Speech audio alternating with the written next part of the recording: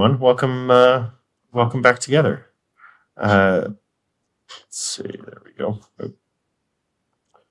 Uh, so uh, I just want to review a little bit what the big ideas of last week were that I am hoping folks uh, took away, and if you didn't take them away, we'll just review them all over again uh, because I feel like there was so much new and so much different uh, last week. And part of that has to do with the fact that this is just not a period of Jewish history that we study. This is also not a period of world history that we study. Right? Even if you know almost nothing about the Jewish history of the Roman era, you end up having a significant Roman education just by going through the American school system and university system and cultural, right? It, we, we hear a lot about ancient Rome. And so we have these ways that we can connect our history to, to pieces that we already understand. That's a lot less true of the Neo Persian Empire, uh, which we just tend not to know much about at all. Uh, so, big picture, backing away. We're talking about the third century, fourth century, fifth century, or so, maybe even to the sixth century uh, of the Common Era, our side of zero. Uh, and we're talking about really, in the broadest of senses, the shift of Judaism and Jewish identity and simply Jews from being in Judea and its surrounding areas, the, the Roman province of Judea, uh, uh, inclusive, sort of in the most expansive sense of things like the Galilee and so on and so forth, uh, to Jewish civilization being centered in Babylon which is really what happens. And Babylon is the Jewish name that we have for this area, by the way. Uh, you, know, they weren't calling themselves Babylonians at the time. Uh, it's this ancient place that we have this relationship to, Bavel. And so we continue to refer to this region as Bavel. Well, we're dealing with the Persian Empire at the time.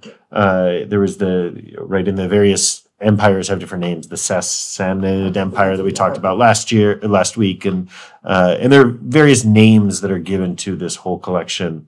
Uh, historians today call it the Neo-Persian Empire, as in the Second Great Persian Empire.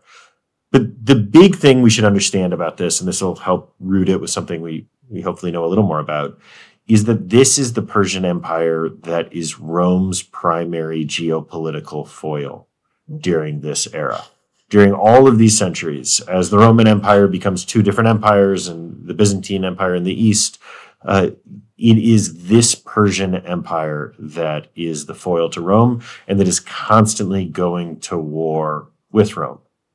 Uh, I it struck me this week. I saw a map of Iran, contemporary Iran, and Iranian spheres of influence, and it was just wild looking at that and comparing it how similar it really is to when you look at the Neo Persian Empire. Uh, that, that we are talking about a region that is not dissimilar today from the way it was during the Neo Persian Empire, which is not that different from what the Persian Empire that we looked at, the Esther story era, the Babylonian Empire, the Assyrian Empire, right there, there continues to be this sort of great northern empire uh, that is separate from the Mediterranean empire that exists uh, and that is sort of the other side of Israel's geopolitical reality. Okay, did that make sense? Sort of the big picture of what's happening there. Now, because Jews are a minority in both of these places, uh, they play, we play an important role within both societies and communicating across these boundaries. Uh, and again, this is not that dissimilar from when we were dealing with the various Greek empires that were in the region and, and Jews were on both sides or flopping back and forth. Uh, but the Roman Empire, particularly as it becomes more Christian, becomes overtly anti Jewish. Uh, actually, that's not fair to say. Let me take that back. Uh, because I think the Roman Empire was already pretty anti Judean uh, before it even became Christian. Uh, it, it is the Jews who, since we are at the boundaries of empire, were constantly rebelling against Rome. And from the Roman perspective, constantly having to quash all of these uprisings that are coming from Israel, all of these various wars uh, from within its own empire. And we're a substantial enough population, something like 10 to 15% of the Roman Empire during this time period, that we really are a problem for them.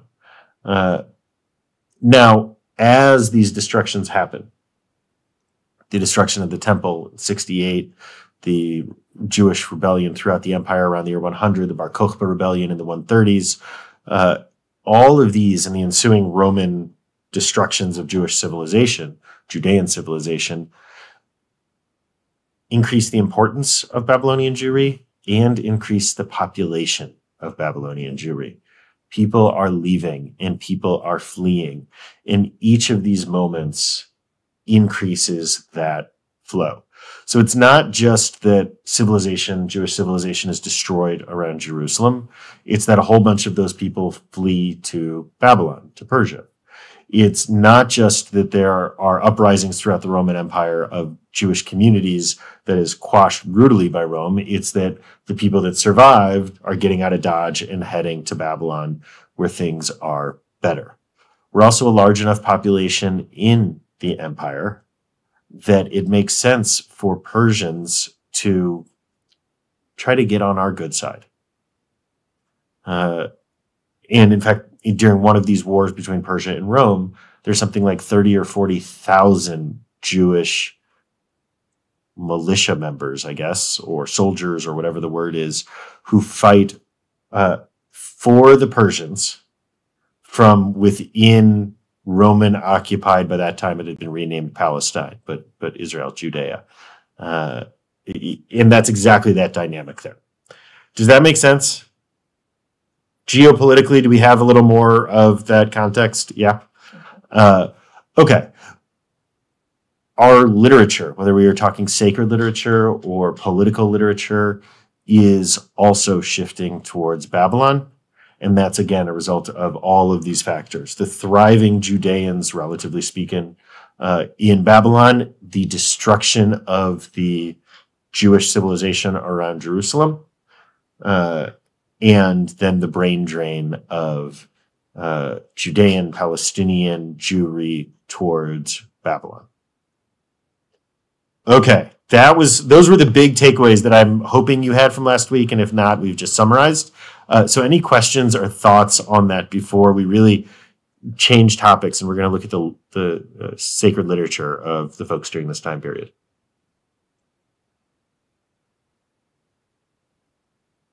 Nothing? Okay, good. Uh, hopefully that was a helpful summary. I know I came away last week. There's just so so much uh, during this time period that hopefully that helped. Uh, okay, we are going to talk about the sacred literature of the peoples, uh, the Jewish peoples during this time period, and we are going to hone in on uh, three three different uh, types of literature: uh, midrash, Mishnah, and Gemara. Midrash, Mishnah, and Gemara.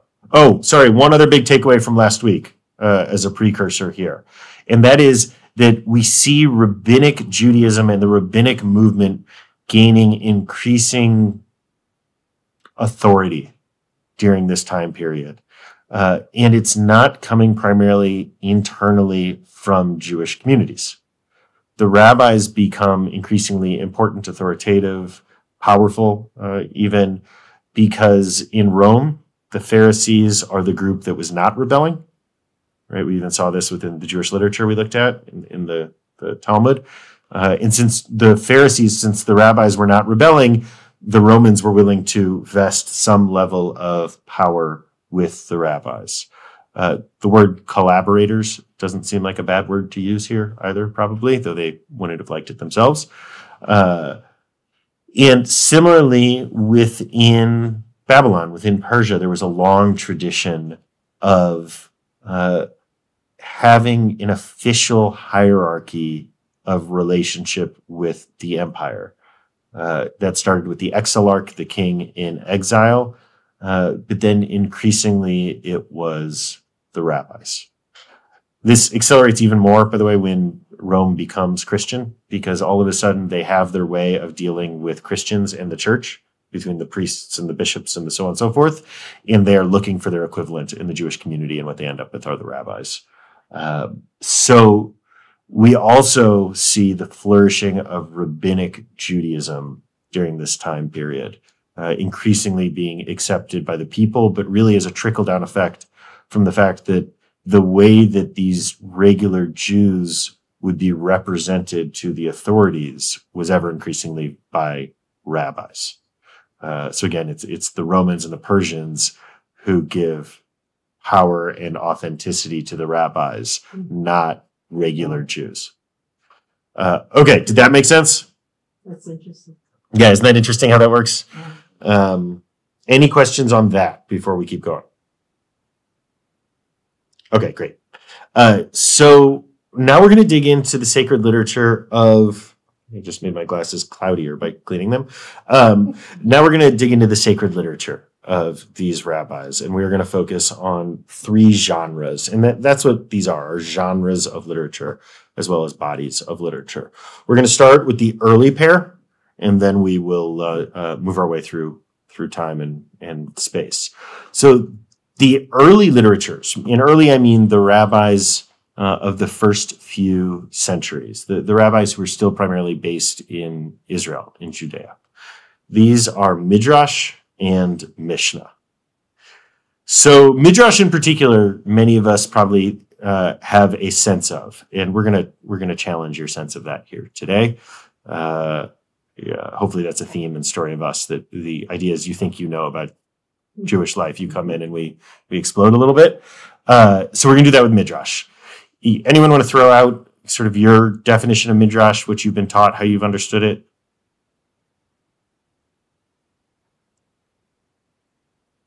Generally, if people oh, was did someone unmute? Please, Larry. Okay, the backstory of the Torah, the in between spaces. Uh, I'll sometimes uh, call it rabbinic fan fiction of the Bible. Uh,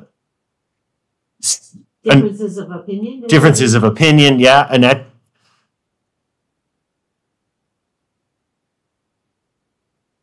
Mhm. Feeling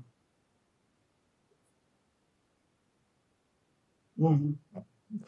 s- there you go, exactly, and that is how most of us uh, probably understand midrash and have been taught midrash, uh, and that's what we call agadic midrash. agada is means story. In fact, that's where we get the word Haggadah, right? The the Haggadah for Pesach is our story guide for the Seder.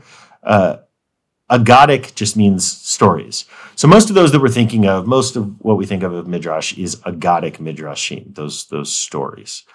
Uh, but actually, midrash and mishnah, what really differentiates them is their different genres of literature, both of which can have stories and both of which can have legal rulings built into them. Mishnah is organized by topic. There are different orders of the Mishnah, and if you're looking, you want to look something up about blessings or lost objects or a divorce or how to celebrate a holiday or just about anything in life, you can look it up by topic, broad topics in Mishnah. And to call it a well organized document is a strong statement. Um, but it at least is organized by topic broadly. Midrash, on the other hand, is exegetical. It is organized by the biblical verse that it is commenting on. So if you've got some great midrash about Abraham that you're trying to remember where it is, Abraham destroying the idols uh, of his father, y- you can go and look at the Torah portion where Abraham uh, has his first call, Lech Lecha, uh, and maybe it will be there, but maybe actually someone dropped it into a midrash way in Deuteronomy where Abraham's name happens to be mentioned once, and that's where you'll find it. So you can't you can't really look things up by topic in the same way with midrash. Did that make sense as just a core distinction between these two things? Okay, the other way I want you to understand midrash is that fundamentally it's a sermon and that it is often a logic game one of the things you'll see over and over again in midrash is uh, there will be a verse from the Torah portion you're dealing with, and then someone will throw out another verse from somewhere else random, or at least it feels random. Song of Songs. And then the question will be asked, what do these two verses have in common? And you will get five different midrashim that follow that connect these two verses together. Uh, this is a logic game. This is a whole bunch of people, brilliant people who have spent their lives immersed in this literature. It's the entire right. They're they're not. They don't have TVs to watch. They don't have Star Wars or Star Trek. They don't have movies. They don't all of. They don't even have a library to go get literature from. This is the literature that they are spending almost all of their time with. Uh, and so these are logic games. You you get the sense sometimes of them sitting around a table and trying to one up each other. Oh, you think that's a good connection? Let me show you an even better way to connect these two verses. Uh, and they're written down. Sometimes they really are sermons. I mean, you can feel that this is a sermon, and oftentimes it's really just these games of it all. Did that make sense? We're going to look at a midrash. They didn't think it was games, right? They, Oh, um, Harriet asked, did, did they think it was games? Do you all hear when people are on the table? Yep. Um, I'm seeing yeses and nos, so I don't know. Uh, did they think it was a game? Sometimes I think they do, actually. Uh, not a game in a but an interesting intellectual. yeah, an intellectual exercise might be a but you know the way that people sit around a table and debate politics, Right. Sort of. How different from the yeshivas, what goes on in the yeshiva now? Hold on, I think I can make some people hear you better. You see, yes, how different from what goes on at the yeshiva now. So we'll get there. Oh, okay. Um, but the short version is that orthodoxy today is a radically conservative movement that is radically innovative in how conservative it is. Really unlike any other time period of Jewish history. So these early rabbis are not a collection of conservative fundamentalist types. Mm. Uh, you certainly get those personalities and those types, but you're also getting radical, the equivalent of radical socialists and leftists, and I, the whole range of Jewish politics and way of thinking. And Yeah. um, now, again, this is, and we're going to look at some of these texts that'll demonstrate this today. Only half the population even has the option of participating in this. Hmm. And we're looking at these sacred literatures, which are what are saved, and it's only men who have access uh, to certainly what is written down. Even if there are women who occasionally have access to studying this literature, it's a literature almost exclusively written by men with male characters. Uh, almost exclusively, not entirely exclusively, uh, but just keeping that in mind too. But that's what I would say, Nancy, in terms of contemporary yeshivas. Is a yeshiva today is extremely conservative. The yeshivas of this moment are literally engaged in a creative process of writing the Talmud and debating it. So basically, they were creative. The ones today are, Oh, there's still very creative people in the Orthodox world and in the yeshiva but world. that's not the point of. but it's a cons- it's an extremely conservative place, and the creativity is often conservative creativity today. Um, so that's what I would say is is quite different. Um, okay, let's. Any other questions before we actually look at some midrash?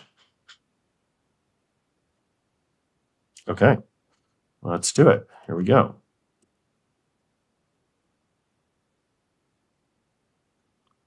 Uh, Does that mean there were topics? It it was wide open. They could say, what you say interested me, that makes me think of this. And but today it would be more like there are things you couldn't throw into a discussion. Um, hold the question until we get to the orthodoxy. Orthodoxy is a new phenomenon. Okay. Um, okay, so this is showing up for everyone, right? Zoomers, you see this? Yes. Okay. Uh, so we're going to go over here, uh, and we're going to start. Actually, we're going to start just by looking at a midrash on this week's Torah portion. So this is Sefaria, as always, the wonderful resource. We're going to go over here. Um, That didn't do what I wanted. That did though. Uh, okay, so this is the beginning of uh, Tazria. Uh, you can be a certified board dermatologist when you are finished studying this. Uh, so we're just looking at the beginning here. We're just going to look at these first two verses. Adonai spoke to Moses, saying, Speak to the Israelite people thus When a woman at childbirth bears a male, she shall be impure seven days. She shall be impure at the time of her condition of menstrual separation. This is dealing with issues of ritual purity. Just a note on ritual purity it is not cleanliness, even as it is often translated today as cleanliness. Ritual purity is um, fitness for entering into the temple. So there are conditions that make you unfit for going into the temple that usually are connected with um, the fluids of life blood, semen, menstrual fluid, and dead bodies are the main categories that create ritual impurity. Uh, but that just means you are not ready to go into the temple courtyards. It it's not about cleanliness or uncleanliness, even as that gets translated uh, uh, as the understanding. Okay. So back to our screen share here, uh, because we're really trying to understand midrash here and not the not the Torah verses. So I'm just going to go ahead and click over here. This is the beauty of Sefaria. We're going to look at all the midrash. And we're actually going to look at the second one down here. How do I make this bigger? Come on, Sefaria. Did do it? There we go. Okay. Uh, is there someone? So this is jumping off of uh, uh, those first two verses. Is there someone who'd like to read for us?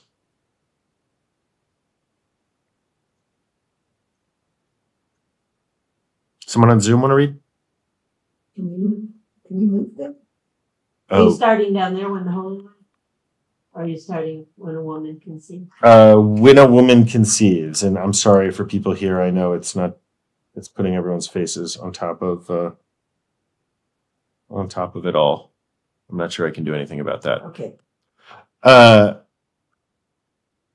okay, please, whoever was about to read, go ahead.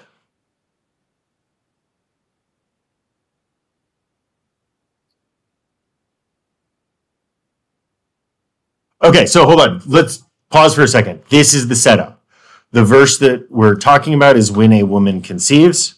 Uh, and the psalm that we're pulling is back in front you shaped me these have nothing to do with each other. We have no idea why they're pulling these two. It's just they have pulled two different pieces here and they're saying, okay, everyone, go. So, and then we're going to get the everyone. We're gonna, even going to get their names. So go ahead, Okay. Samantha.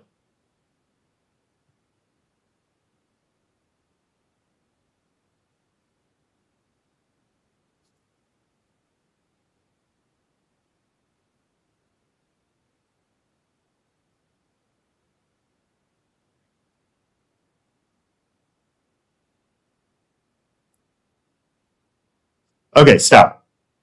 Hold on, hold on, hold on, stop. That was that was our first midrash, is what we saw here. That's our first attempt. Rabbi Yochanan's first attempt to combine these two verses. And what Rabbi Yochanan's saying is uh, this has to do with how much merit you have. The front and the back is this world and the next world, and the it's some sort of end of days, afterlife, something that he's pushing here. Um, okay, does that make sense? We don't we don't need to totally Yeah. uh, love his midrash. We're just trying to explore the genre here. Uh, okay, keep going, Samantha.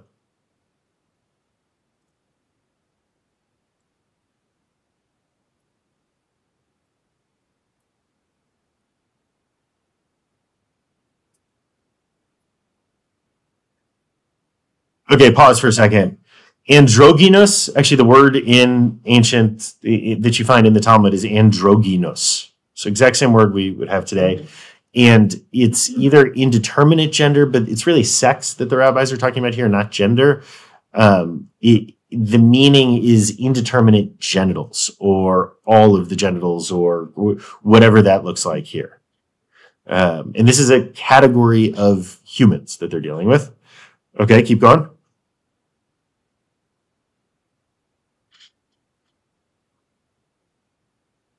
Okay, pause for a second. So this is this is also a classic. Uh, you find this throughout the Mediterranean cultures. This is the soulmate myth, right? That we were created as one soul and split in half, and you spend your life going to find your other half. So you find versions of this everywhere throughout the Mediterranean. You find it in Plato, you find it in Midrash, you find it um, all over. Uh, Hedwig and the Angry Inch, if anyone's seen that, you, you, that's all this story right here. Okay, keep going.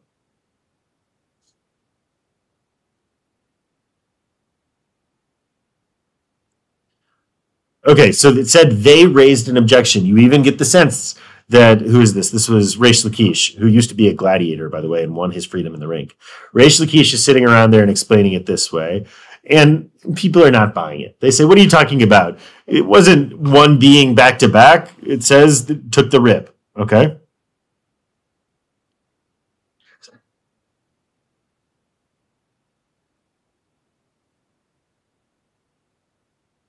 Okay, right? So they, they're challenging him that it's a rib, and what's happening here then is that, excuse me, uh, is that Reish Lakish responds to them and is using the shoresh, the Hebrew root of these words, and saying that actually this word that you're translating as rib could also mean side.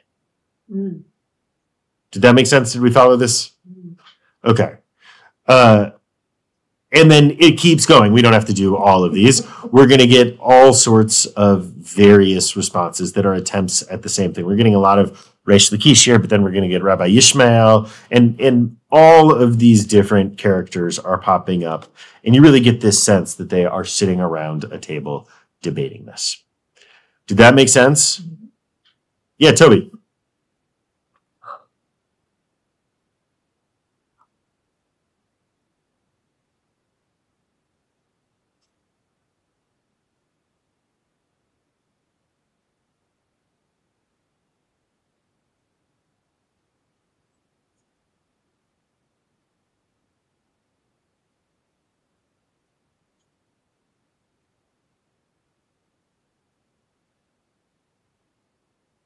Yeah, so Toby, we're going to get to Rashi eh, probably in a month or so. Um, but Rashi is living around the year 1000, and we're at the year 400 or so right now. And really, what you can understand Rashi and Maimonides is doing is what they're taking is they're taking Midrash and Mishnah and trying to systematize them and make them accessible instead of having broad collections of things but that comes later. That's the next step. First, first the broad collections of things have to be created and broad enough that it becomes a problem that they're inaccessible. So that's coming later. Elliot. Oh no, you're just unmuted. Great. I'll mute you again. Don't worry. Uh, any other questions about Midrash? Because we are. This is it. That was your Midrash moment.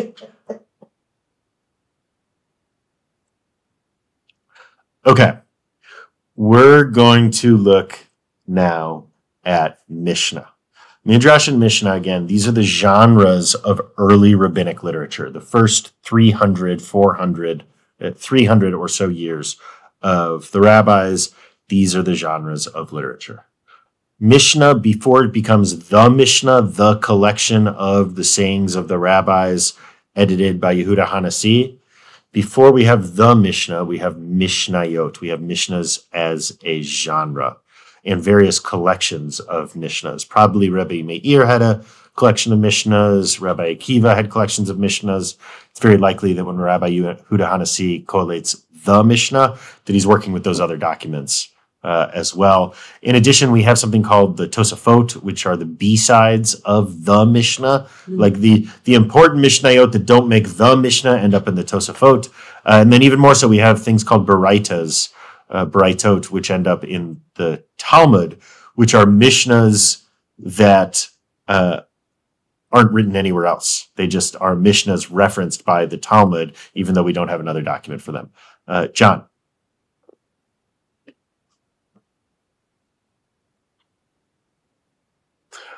So these literature collections are primarily being written down, edited, constantly revised uh, in the various, what we would now call yeshivas, the academies. Uh, so for the Mishnah, we're dealing with Yehuda Hanasi's yeshiva in the north, Sipori, around the Galilee, Yavne. These are the areas that these documents are being written in. Uh, same with Midrash, they're coming out of the same places from the same people. Uh, and eventually, the centers of this work are going to be the academies in Babylon that we talked about last week. Uh, in particular, Sura, uh, Nehardea, and Pumbedita becomes the major one, though we didn't talk about it last week. Uh, Samantha.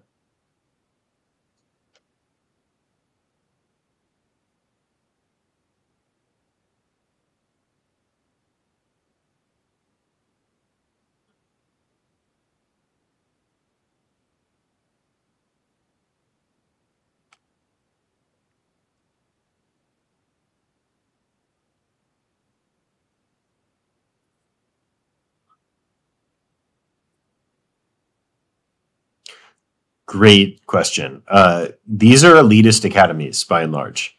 Uh, and so you have to have significant education and knowledge even to be a part of these academies and access some of this information. Now it's going to be disseminated. And that's what the rabbis are doing is that they're going and teaching. And that's the origin of the word rabbi, rabbah, arbe, um, to increase, right, to spread knowledge is the idea.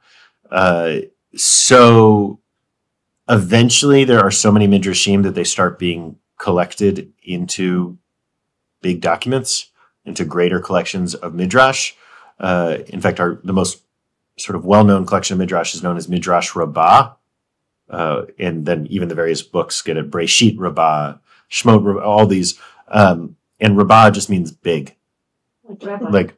Like like rabbi yeah yeah. But the whole idea is it's just like the big book of midrash and it's that collection. But we found midrashim that have since entered into the midrashic conversation in the cairo geniza. We have there's all sorts of these other collections. Avot de Rabbi Natan and um, just all sorts of other collections of midrashim that have been found through the years. Hmm. uh, and generally integrated into jewish conversation once they are found. Uh, okay any other questions on that? Today, they're very searchable through Sefaria. No. Marilyn, yeah.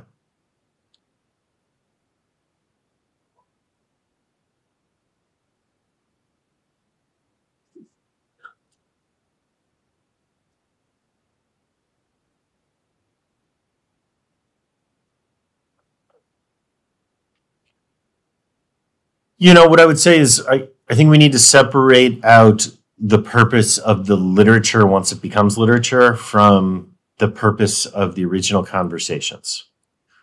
These collections of literature are the collections of how this fledgling movement of Judaism that is growing in political and cultural importance.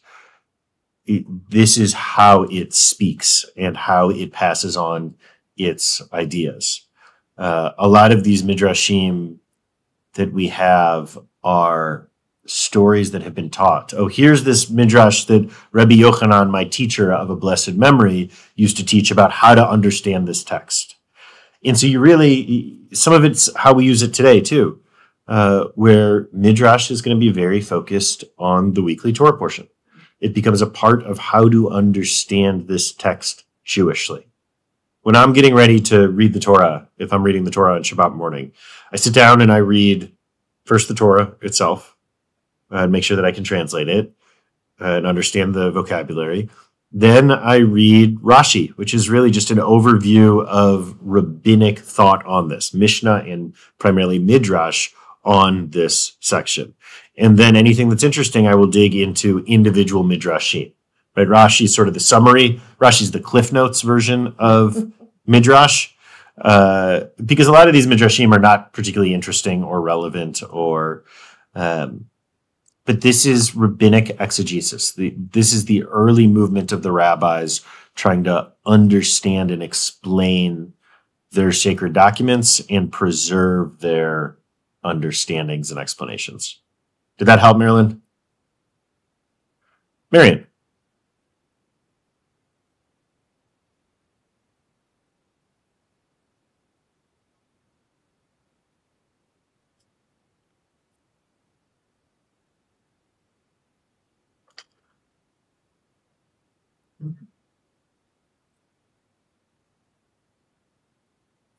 That was a story. That was a Godic midrash.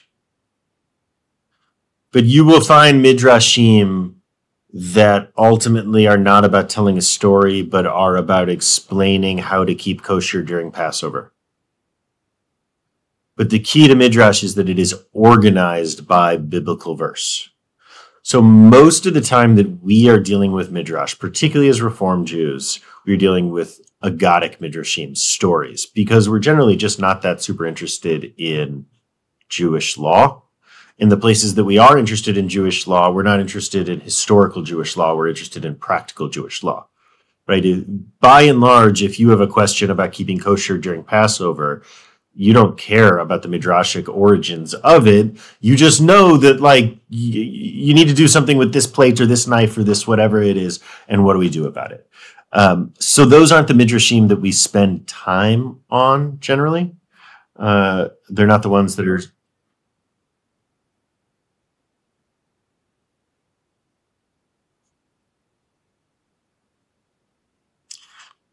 Okay, that's a, hold on. Let me let me pause you there because th- that's a that's a perfect example of what I'm talking about.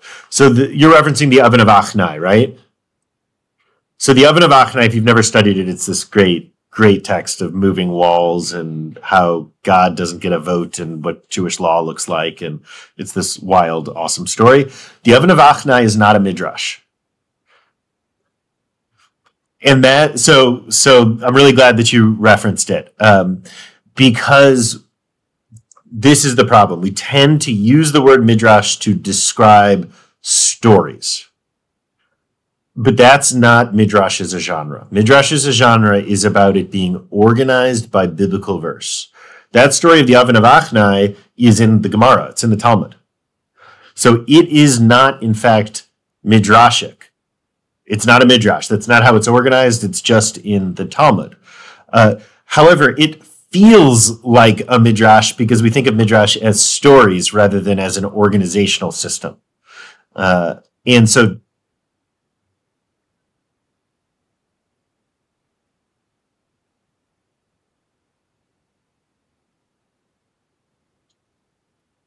Bruria and Rabbi Meir.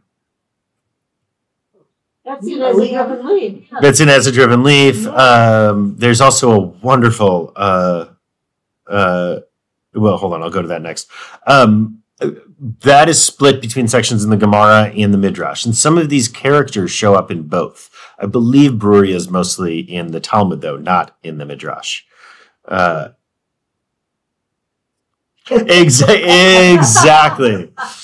Exactly. A lot of your favorite agadic stories that feel like what you imagine Midrash to be aren't from the Midrashic material.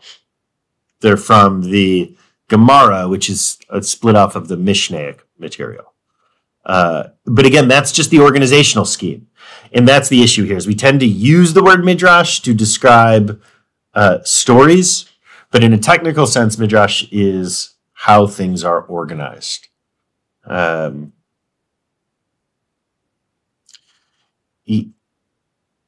Midrash are like novels, and Mishnah is like an encyclopedia. Mm. Don't push too hard on that. Um, but they're different genres of literature. Um, yeah, I know. I just made it more confusing. I see that. Yeah, Susan, go ahead.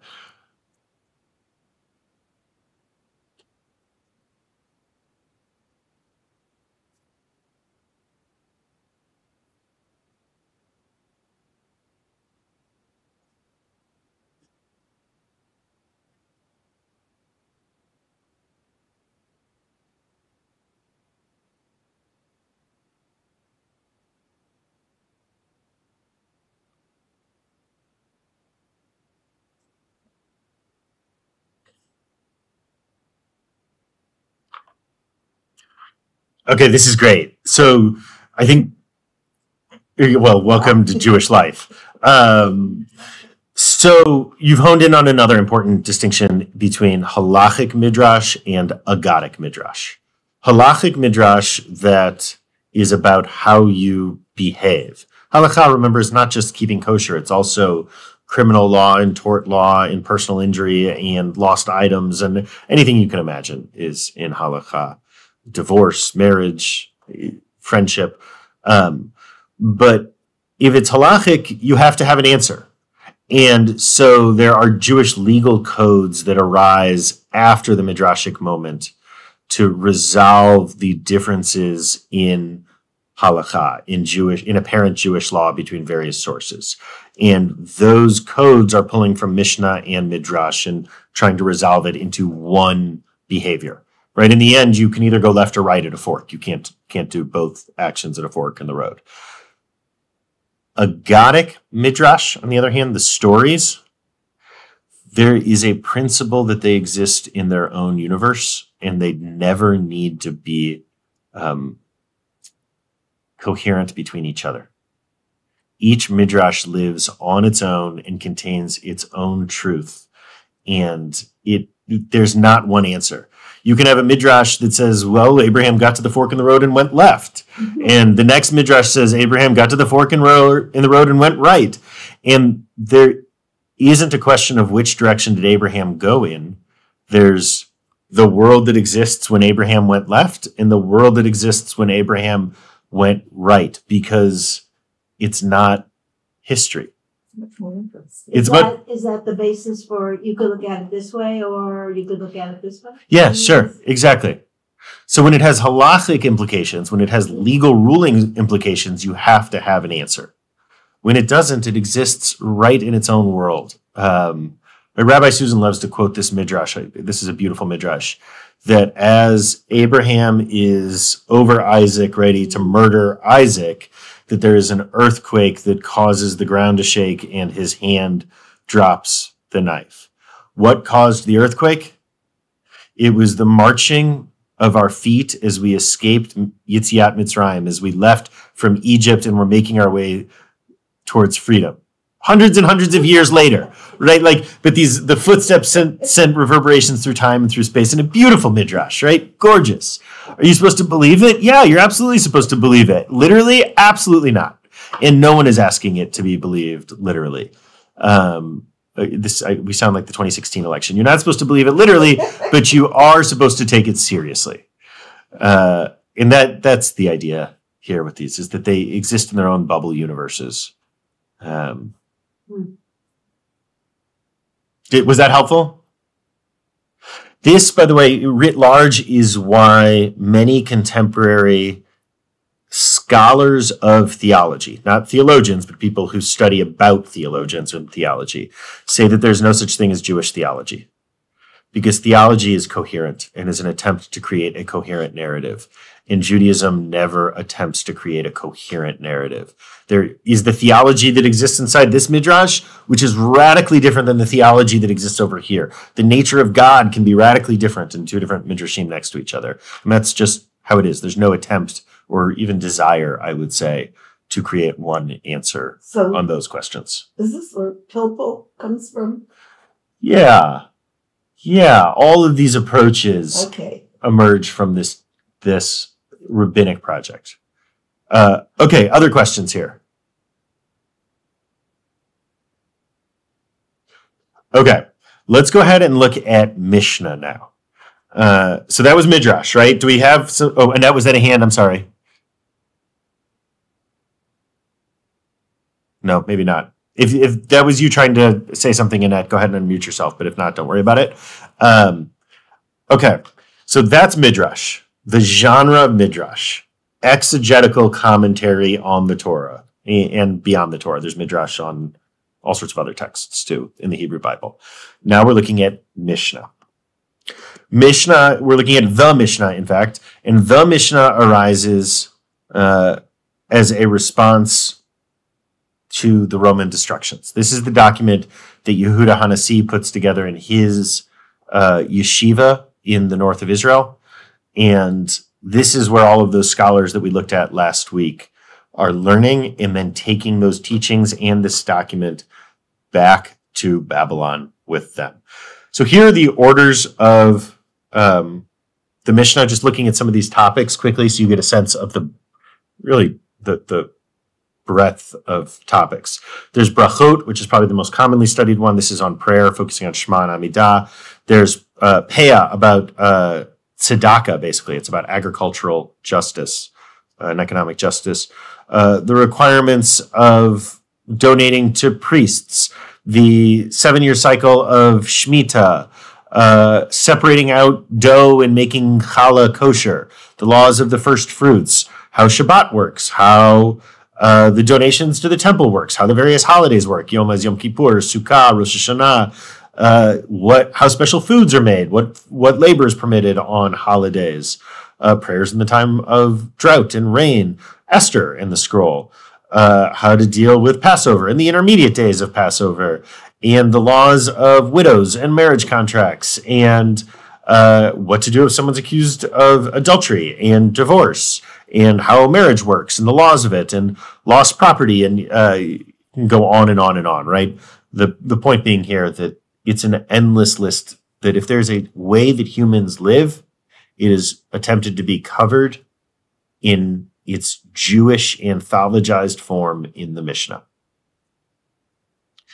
So we are going to look at a book of the Mishnah that is um, maybe the most exceptional book of the Mishnah, meaning that it just doesn't feel like the other ones. Uh, but we're going to look at it anyways because uh, where did it go? Well, I've gone too far. Uh, because it tells us something about the rabbinic movement and it's maybe the most famous book of Mishnah. There it is. Pirkei Avot. Mm. So, in fact, Pirkei Avot is well known enough that lots of people have heard of Pirkei Avot and have no clue that it is a part of the Mishnah at all. Uh, but it is a book of the Mishnah. It does not have a book in the follow up text of the Gemara. Don't worry if that didn't mean anything to you. We will cover that in coming weeks. Uh, but let's just go ahead and start here. Will someone read this very first verse of Pirkei Avot? In fact, the, let's not call it a verse. This very first Mishnah of Pirkei Avot, and a Mishnah is a verse of the Mishnah. Please.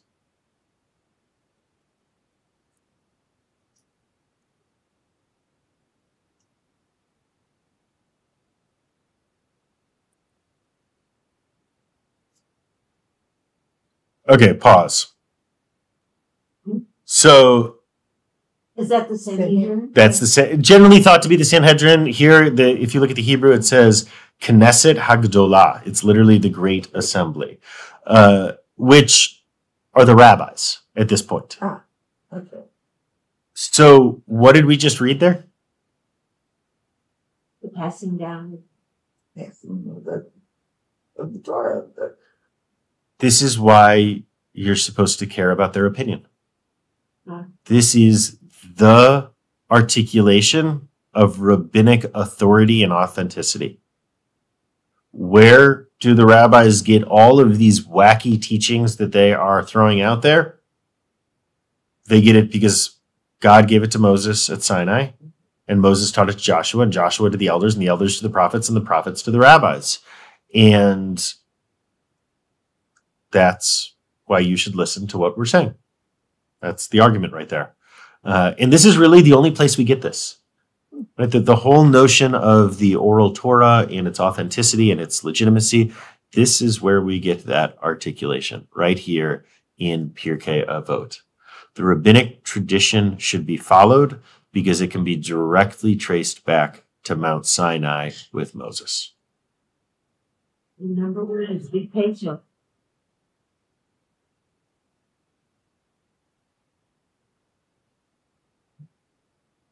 That's what we're talking about. We are talking about the we're talking about the Mishnah here. The rabbis are talking about their own documents of work, uh, and so much of what we're seeing in in the Mishnah and in the Talmud is the rabbinic attempt to show why they and their movement are legitimate, and that's what we're saying here. Make sense? Okay, let's keep going.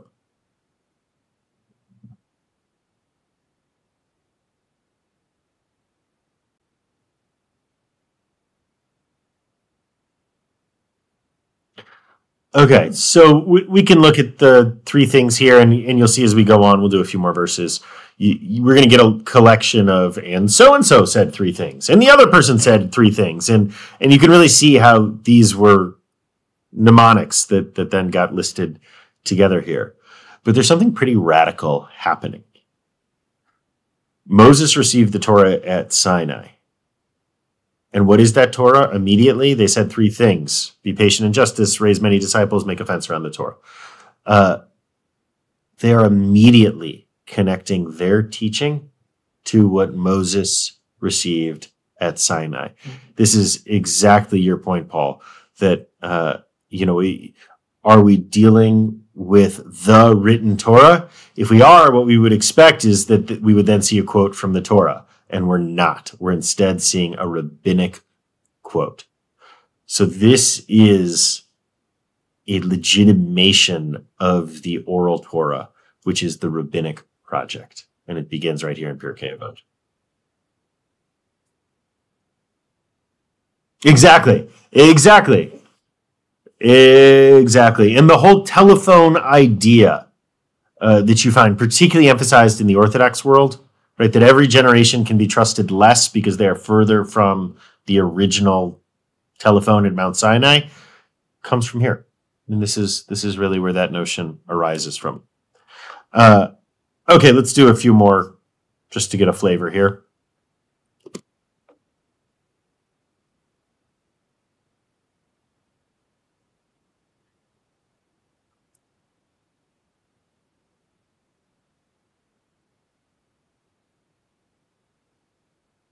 Okay, this is first of all, he's got a great name, Shimon Hatzadik, right? Simon the Righteous. Um, but we already are seeing the nostalgic look here. Uh, this is clearly being written in a time where the Great Assembly is no more. It has been destroyed. And so we are getting the attempt to conserve the sayings of the great ones who came before. Not like the schlubs who live today, but the great ones of previous generations. And we still do this. We all still do this phenomenon. Um, and that's what they're doing uh, at this moment right here. Uh, and we get the three particular things that, that he's suggesting. And uh, let's keep going just to keep getting a little more of the flavor. Go ahead. A classic Jewish name right there, right? Um, but it is a classic Jewish name because it's a Greek Jewish name.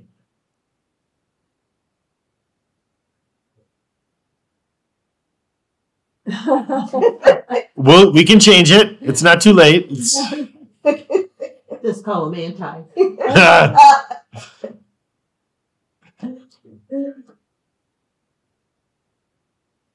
okay, so right, we're already getting a generation past. Okay, we can all agree that we should listen to the men of the Great Assembly, but you know, you're not, you're no Shimon the Righteous. You're not on the Great Assembly.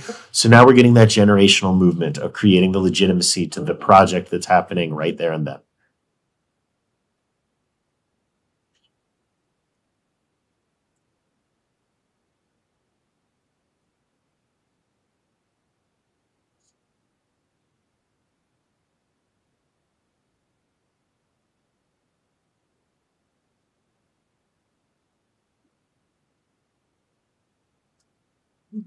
Okay.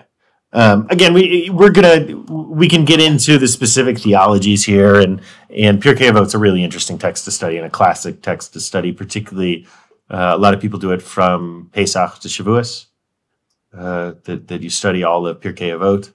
Uh, you can divide it up a, a chapter a week and things like that. Um, but yeah, so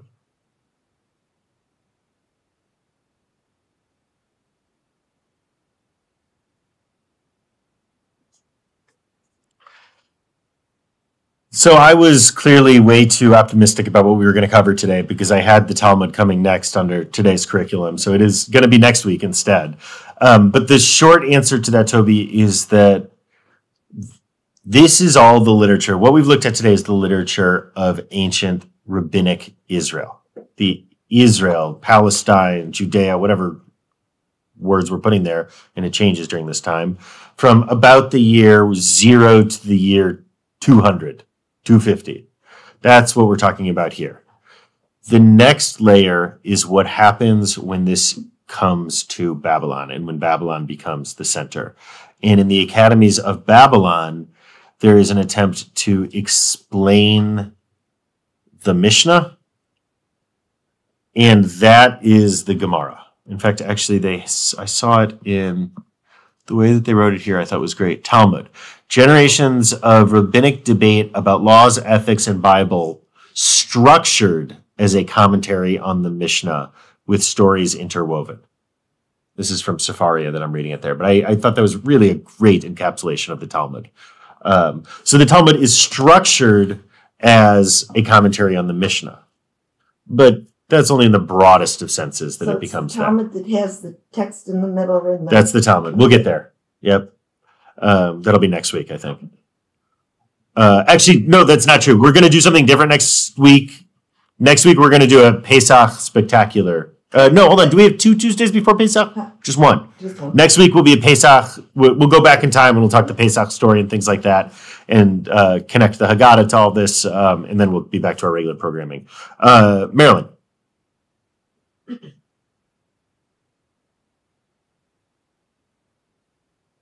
I, I said Marilyn, but go ahead, Leon, and then we'll get to Marilyn next.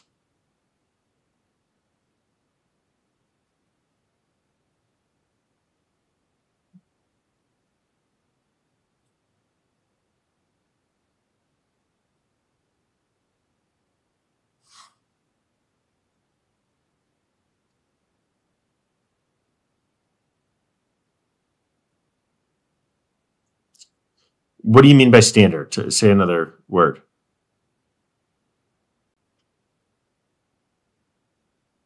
Ah, got it. Yes, yes, yes, yes. So there are multiple collections of Mishnayot, and it's really Yehuda Hanasi around the year 200 who creates the version of the Mishnah. And then it is passed around, and there's, if what you're asking is, are, are there differences in versions of Yehuda Hanasi's Mishnah?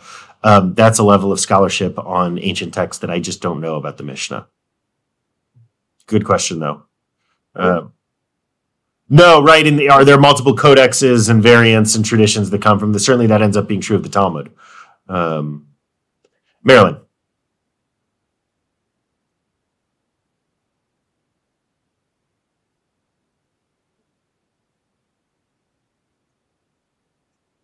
You know, I think particularly, particularly in um, Mishnah, I think you're going to see that in early Midrash. And that's because it's literally the same people who are doing this. Uh, right? Jesus and his followers are hanging out with these people because they are these people to a large extent. There are, there are divisions that would have been important to them in terms of the politics of their moment that would have helped to separate them into their various groups but I think backing away writ large, ignoring what comes next in terms of you know Judaism a thousand years later and, and Christianity writ large, these are the same people having the same conversations, right? Jesus and his followers are some of these folks sitting around these tables having these arguments. Um, yeah, exactly, and even just how to speak in parables and how to construct this right? There, there are just some core literature pieces that have nothing to do with ethics and everything to do just with local culture that we see um, coming through here. Uh, um, okay any other last questions?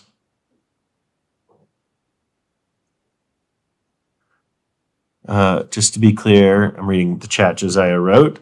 Uh, just to be clear, none of us uh, here fall for the fallacy that greatness only existed in previous generations. Oh, very sweet. He's, he's talking about CRC rabbis. Very sweet, Josiah. Um, okay. Any last thoughts? Any Elliot?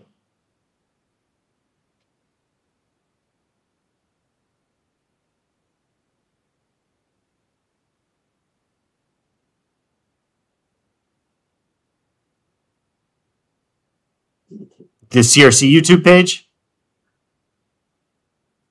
No, something I don't know what that is, but I'll take a look at it. No, because we we're streaming this right now to YouTube.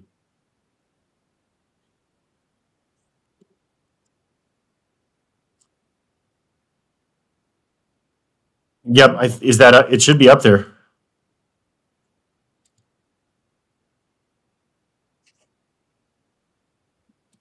That's a, that's a different text. That's I can find- Send me a message, text me, and I'll or or email me, and I will get you that link.